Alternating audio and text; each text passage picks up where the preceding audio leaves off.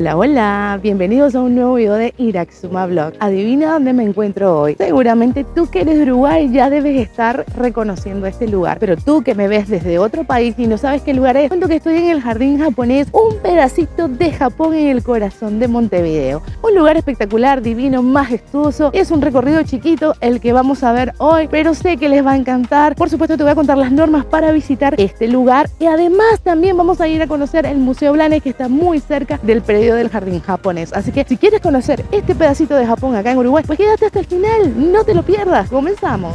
Detrás del emblemático Museo Municipal de Bellas Artes Juan Manuel Blanes se esconde el distinguido Jardín Japonés de Montevideo, símbolo de la amistad entre el pueblo japonés y el pueblo uruguayo. Uno de los más hermosos lugares que tiene la ciudad de Montevideo y por extraño que parezca, es uno de los menos publicitados. Un paseo para realizar en familia y que seguro querrás volver a disfrutar.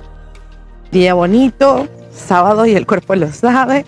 Pero acá estamos nosotros grabando para ustedes un lugar muy especial, acá mismo cerca del Prado. Ya estuvimos grabando el Rosedal.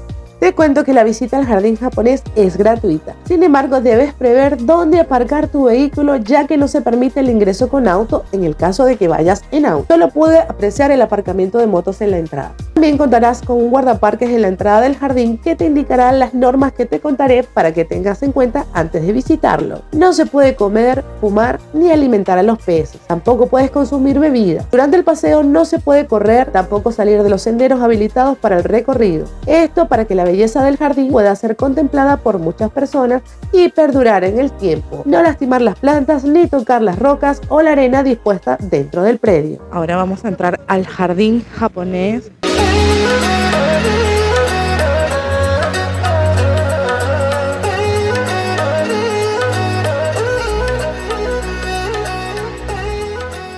jardín es una obra de arte de casi 3.000 metros cuadrados que representan la belleza de la naturaleza y los valores espirituales de la cultura japonesa, concebidos al estilo Sansui, que significa montaña y agua.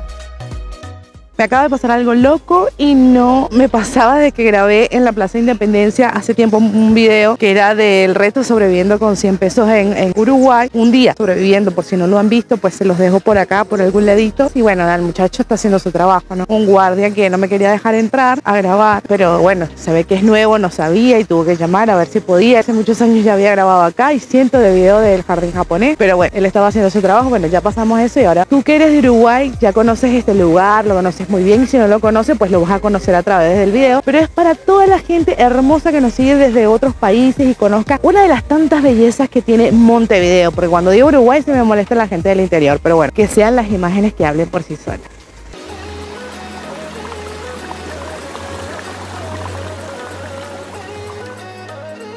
Comentarte que este jardín no está en su estado natural o silvestre, sino que es una representación ideal de lo que es la naturaleza, sus ritmos y formas. Sin duda, los japoneses llevan la visión de la jardinería a su máxima expresión.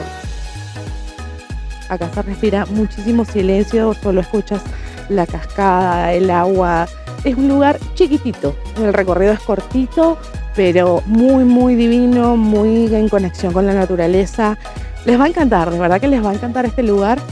Hoy sí está un poquito más concurrido porque es sábado y bueno, la gente la mayoría de los sábados sale un poco a pasear y a, a compartir en familia.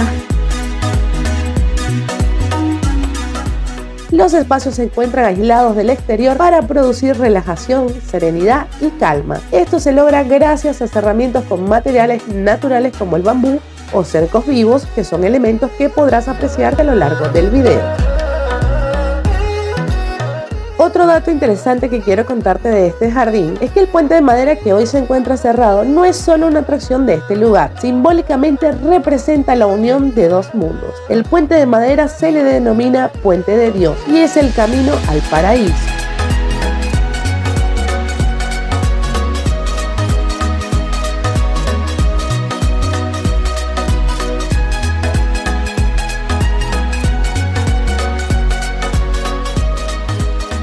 Como se dan cuenta, el puentecito está inhabilitado, no se puede pasar, debe estar en reparación, me hubiese gustado pasar por ahí. Estoy grabando así calladito, hay mucha gente alrededor.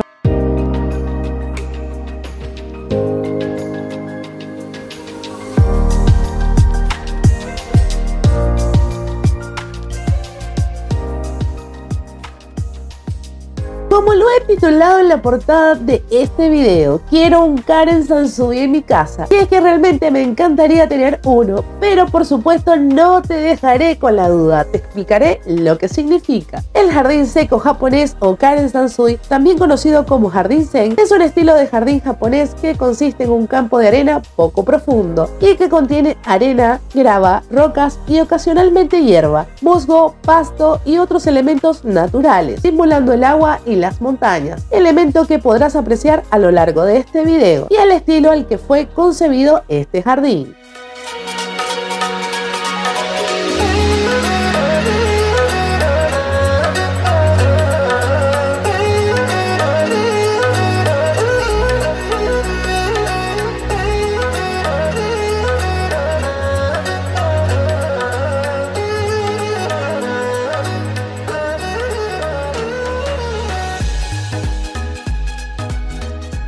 Miren, quiero contarle un chisme. Este es uno de los primeros lugares que yo visité cuando llegué a vivir acá a Uruguay, porque vivo relativamente cerca en Sayago y fue uno de los primeros lugares que visité y de verdad que quedé fascinada, enamorada Dentro del jardín podrás encontrar una enorme variedad de flora como el cerezo, lirio sagrado japonés, orquídeas terrestres, lirios amarillos, el jazmín de Paraguay y un número interesante de otras especies. Algo también interesante de este jardín es que los arbustos están podados o cortados de manera muy prolija.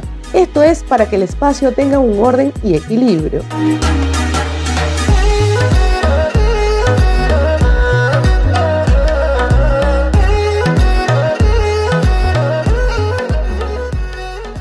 Gusta el contenido que hacemos en este canal, no dejes de suscribirte, es gratis. Acá, mira, en el botoncito rojo, tú le das ahí suscribirte, le das una manito arriba, activas la campanita y YouTube te estará avisando cuando yo suba nuevo contenido.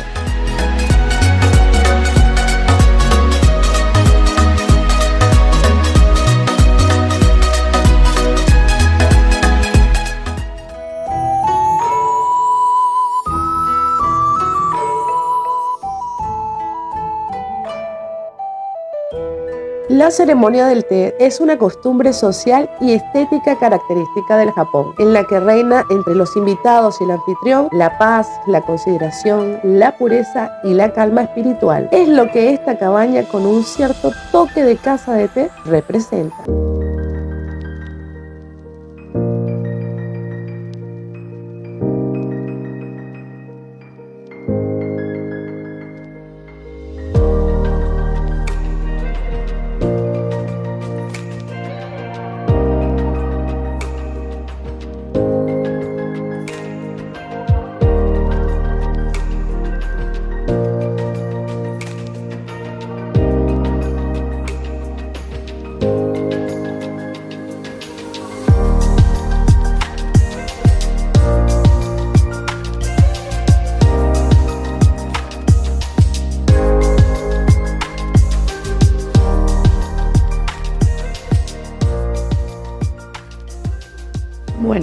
Estamos entrando al Museo Blanes por primera vez. Vamos a conocerlo. Yo soy turista en este momento, igual que ustedes. Vamos a ver si nos dejan grabar un poquito con el celular. El horario de apertura del museo es de martes a viernes de 8 a 18 horas, sábado y domingo de 10 a 18 horas y durante el verano se extiende el horario de apertura del predio de 8 a 19 horas. Para conocer la diversidad de exposición temporaria y actividades que se realizan en la época que decidas asistir, ingresa a la web del museo.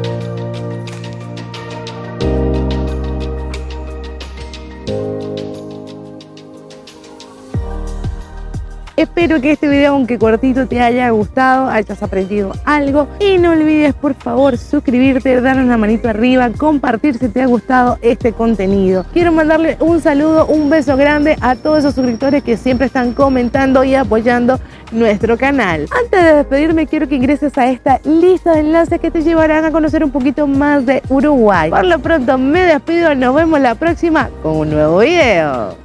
Chao, chao.